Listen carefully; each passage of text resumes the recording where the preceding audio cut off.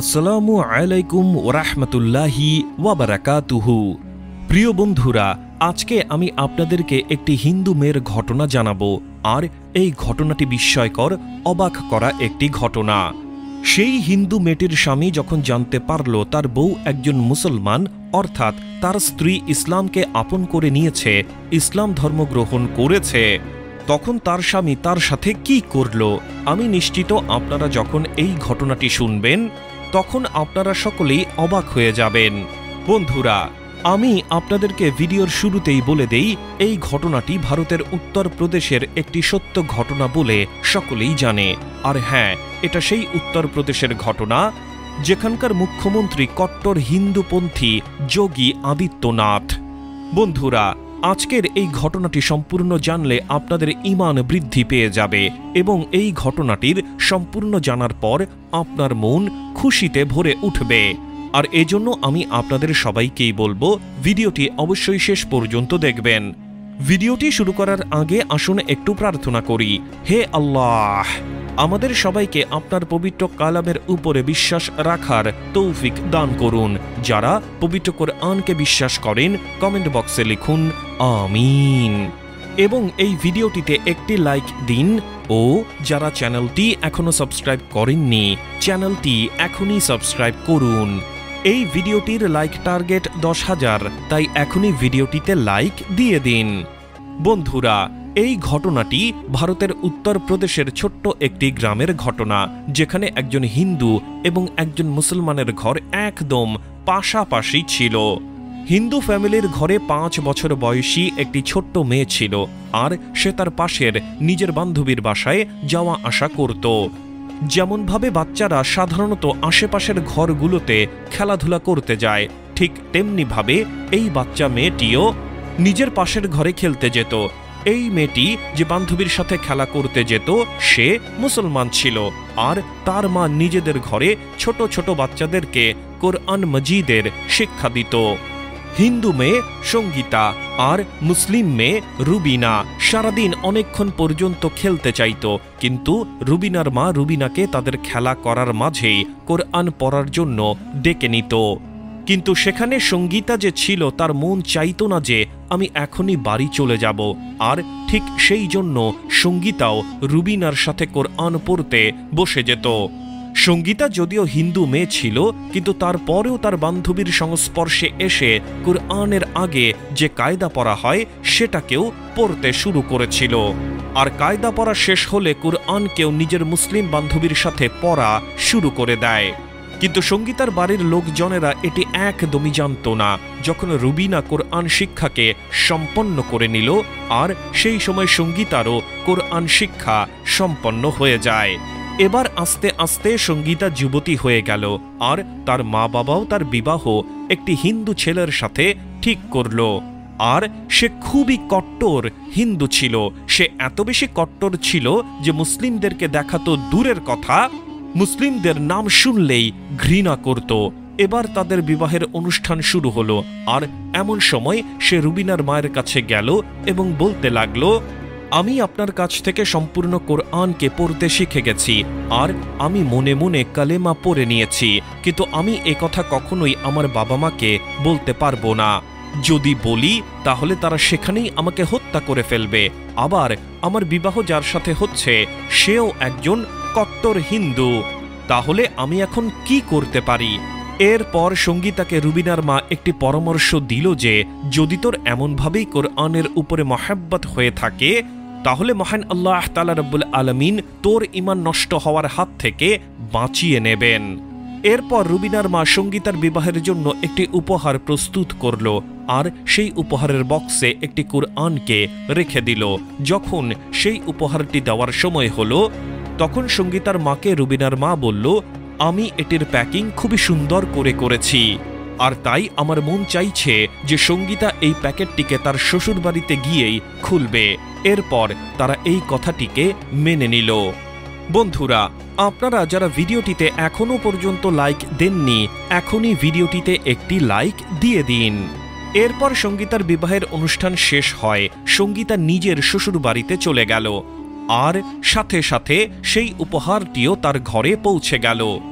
সঙ্গীতা তার শ্বশুরবাড়িতে সবার প্রথমে সেই কুরআনটিকে একটি গোপন জায়গায় রেখে দিল, যাতে করে কারও নজরে না পড়ে। আর যখন তার স্বামী অফিসে চলে যেত সেই সময় সঙ্গীতা ঘরে একা দরজা লাগিয়ে কোরআন শরীফ তেলাওয়াত করত। আর সে কিছুটা সময় কোরআন তেলাওয়াত করার পর তার স্বামী যখন অফিস থেকে ফিরে আসতো, সে সেটিকে লুকিয়ে রাখত আর কয়েক বছর পর্যন্ত সে এমনভাবেই পার করে দিল। আর এরপর সঙ্গীতা একটি সময় প্রেগন্যান্ট হয়ে যায়। এবার সঙ্গীতা ভাবতে লাগল, আমি তো এতদিন আমার ইমানকে লুকিয়ে রেখেছিলাম, কিন্তু এবার যদি আমার বাচ্চা জন্ম নেয় তাহলে আমার বাচ্চার ইমানের কি হবে? আর সঙ্গীতা তার এই চিন্তা থেকে মুক্তি পেতে আল্লাহর দরবারে দোয়া করতে শুরু করল আর বলল, হে আল্লাহ, একটি এমন রাস্তা বের করে দিন যাতে করে আমি আমার বাচ্চাকে কালেমা পড়াতে পারি। কিন্তু সঙ্গীতা কোনো রাস্তাই খুঁজে পাচ্ছিল না আর তার নিজের মনের ইচ্ছা তার স্বামীর সামনে বলার সাহস হচ্ছিল না। আর এবার মহান আল্লাহ তালা রব্বুল আলমিনের কুদরাত দেখুন, একদিন তার স্বামীর ভীষণ শরীর খারাপ করছিল আর সেজন্য সে ডাক্তারের কাছে গিয়ে টেস্ট করে আসলো। কিন্তু রিপোর্টে যেটা ধরা পড়ল, সেটি খুবই ভয়ানক ছিল, কেননা সঙ্গীতার স্বামীর ক্যান্সার হয়ে যায়। এরপর সঙ্গীতার স্বামী এই খবরটি জেনে বাসায় চলে আসলো এবং সঙ্গীতাকে জড়িয়ে ধরে কান্না করতে লাগল।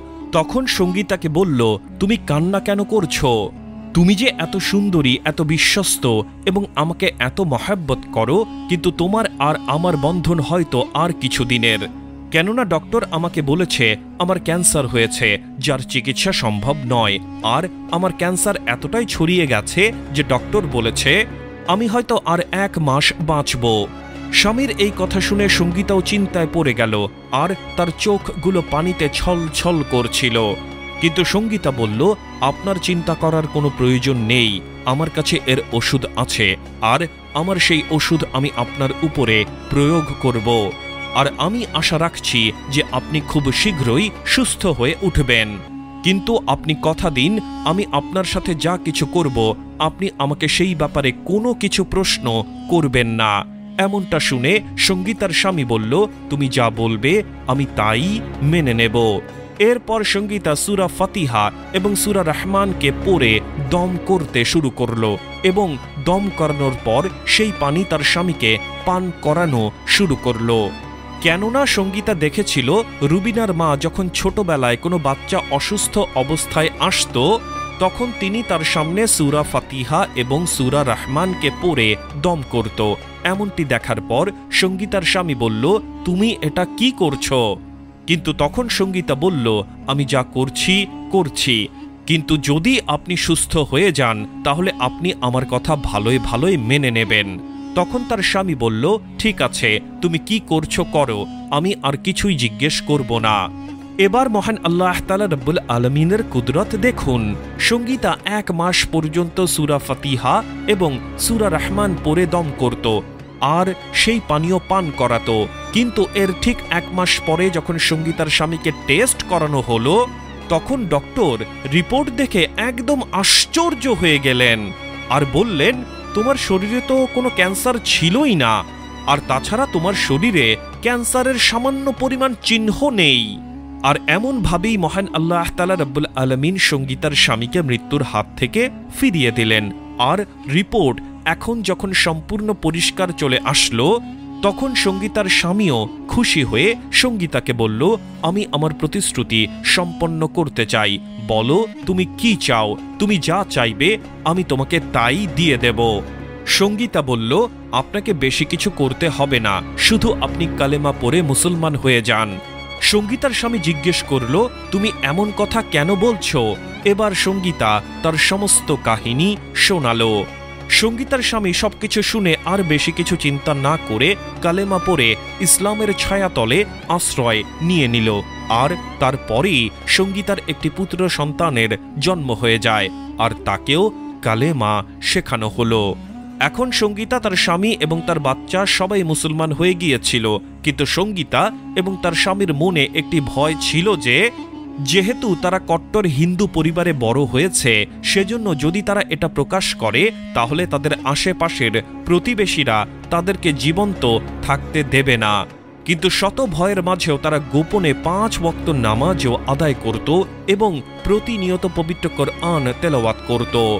বন্ধুরা, আমাদেরও উচিত সবসময় মহান আল্লাহ তালা রব্বুল আলমিনের মহান হুকুম পাঁচ ওয়াক্ত নামাজ আদায় করা এবং পবিত্র কোরআন দিনে অন্তত একবার হলেও তেলাওয়াত করা। আল্লাহ আমাদের সবাইকে নেক বুঝ দান করুন। সম্পূর্ণ ভিডিওটি দেখার জন্য অসংখ্য ধন্যবাদ। আল্লাহ হাফেজ।